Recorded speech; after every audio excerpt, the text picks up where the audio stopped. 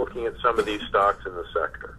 So what we can do even is go back to the um, uh, quotes page. Here's what I like to do. Go back to the quotes page, please, and then go up to the upper left-hand corner again and click on that. Uh, uh, exactly that little wrench button, I think. Is that going to it? And then what we can do is create new watch list. And by the way, when you start doing this stuff, you really start using some of the um, the tools. Um, and they, you know, excuse me, excuse me, man. Here, let's call this um, call this Big Oil. Maybe the watch list name, Big Oil. Or as I say in Texas, Big Earl. Um, and then go into just save that for a second. Just save that. And then what I want you to do is click on the um, click the dot right under right by symbol. Click that, and then go to industry, and then manufacturing, and then uh, petroleum refining, and then petroleum refining again. Hit enter, and we should see those stocks. This is now a, an oil company watch list. I would go and delete a bunch of these penny stocks just for the uh, sake of argument. You can sort by price. In other words, Mathew, if you click on the last, on the left-hand side there where it says the last column, right there, the last price, if you click there, you see a bunch of stocks with zeros and stuff like that. You see a bunch of NAs down at the bottom. I would delete all those symbols in practice. What you're left with are a bunch of stocks you know, you've got TSO, Tesoro. That's not bad, but I would stick with the things that are, let's say, you know, VLO, Valero, Sun, uh, British Petroleum.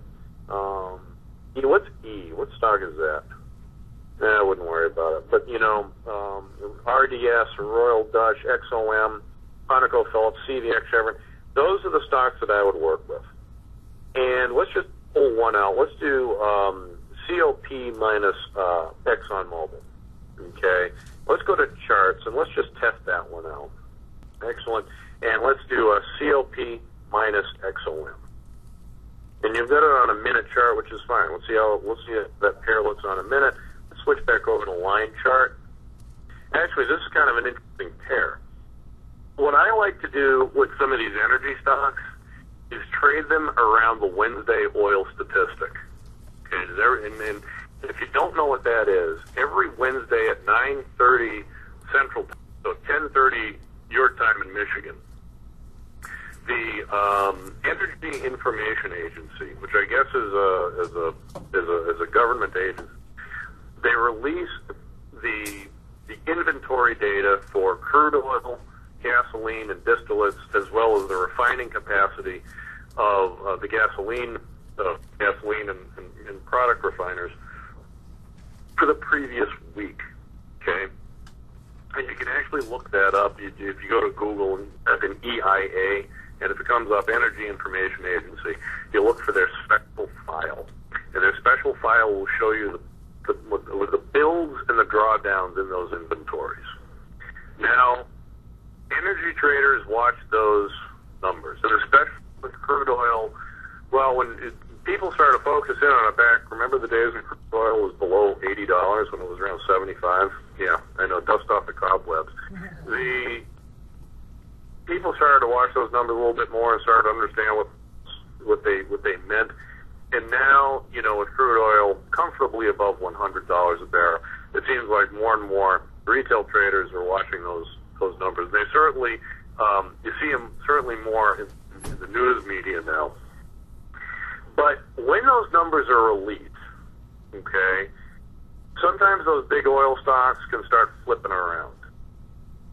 And if you have a price in mind, for example, now Mathew's looking at a uh, a one minute chart. Now let's say I'm, I'm not a let's, for the sake of argument here. Let's say I wanted to buy that pair for one dollar for one dollar and twenty cents. Okay. Let's say you thought that pair was cheap for a dollar twenty. X uh, ConocoPhillips COP minus ExxonMobil was cheap at about twenty.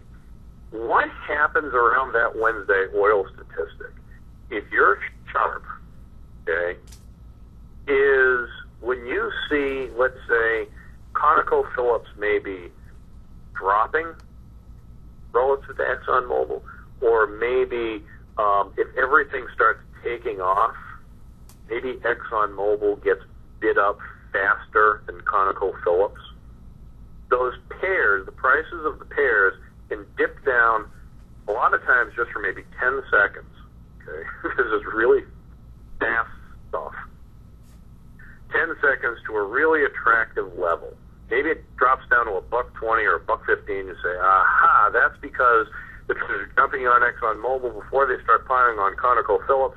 And if you wait too, if you wait 30 seconds, then ConocoPhillips starts rallying, and the pair goes back to a dollar forty. Okay? And I wouldn't trade this pair for 20 cents. Forget that. I mean, unless I was trading 10,000 contracts or something like, that, or 10,000 shares. Or something. But it's um, watching this stuff around. Again, this is a very energy specific trade. But if you're watching this around the, Wednesday oil statistics, watch this next Wednesday just for kicks. Watch some of the oil stocks before then see how they trade. See how they trade before the number. See how they trade after the number. And once in a while, and this is not by any means guaranteed you actually going to make money doing this, but when you sometimes those pairs can be very, very attractive short term when you can get them when you can put them on for a good price. So, in other words, if you thought you liked buying it at a buck twenty, and suddenly it's trading at a buck ten, great, you got to do it. Okay, going to hold on to it for longer than a minute. Obviously, you can maybe hold on to it for a couple of days. But when you're pairs trading, two things: you have to be very disciplined in your trade selection. In other words, you've got to you got to pick a pair that you have comfort with. There are thousands of stocks which would tens of thousands of possible combinations.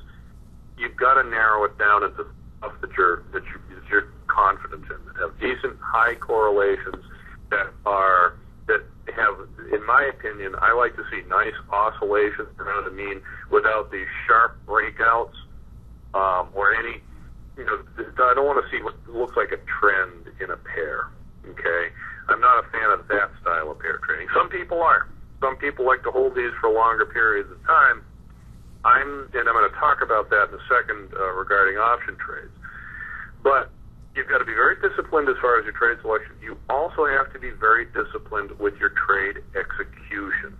I cannot stress that enough. Okay, if you First of all, if you see an opportunity, and this is where pairs trading gets to be a little bit more of an advanced sort of trading tactic, you can't dither. Okay, you can't question what's say you can't you can't say, hmm, gee, should do I like it now? Oh, what's going on? Because if you do that, chances are that great price of the pair is going to disappear before your very eyes, and you'll miss the trade. Okay, you have to be aggressive and you got to get on these trades when you see them. Okay. By the same token, you have to be aggressive in taking them off if the trades aren't working. You have to admit you're wrong and move on. Okay. So, what I would say is if I want to buy this pair for a buck twenty, okay, and I see it trading for a dollar, oh my God, I'm all over it. Okay. And great, if it snaps back to two dollars, I'll sell it and I'll make more money than I thought I would. If it goes down to you know fifty cents, or I see that that that pair degrading, I'll just close it out and take my loss. Okay?